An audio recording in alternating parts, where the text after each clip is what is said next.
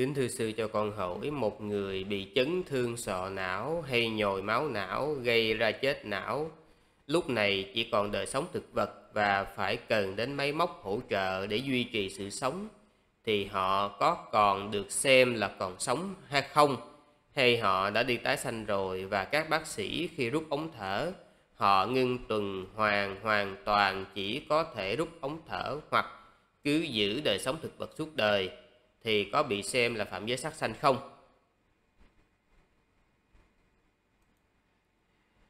À, thưa với quý vị đó, cái chuyện mà một chúng sanh mà có cái đời sống thực vật á mà họ có còn à, được tính là một chúng sanh hay không thì mình phải xem là tâm thức của họ có còn hay không mà muốn biết là tâm thức của họ có còn hay không á, thì phải là một vị có thần thông à, sư thì không có thần thông cho nên sư không thể biết. Mà ngay cả quý vị gặp một vị có thần thông đi nữa thì sư vẫn tin là có trường hợp có à, tức là vẫn còn tâm là vẫn còn sống. Nhưng cũng có thể có trường hợp không.